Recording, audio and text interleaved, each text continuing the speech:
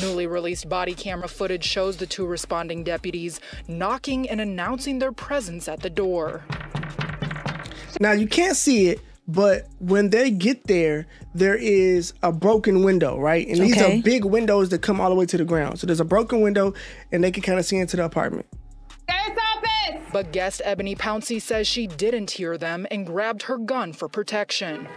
A deputy says she saw Pouncey walking to the door with a gun in hand. Then the deputy shot at Pouncey multiple times, wounding her.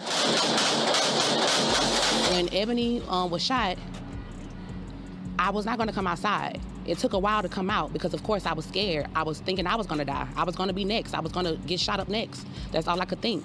I was thinking I wasn't going to see my son again.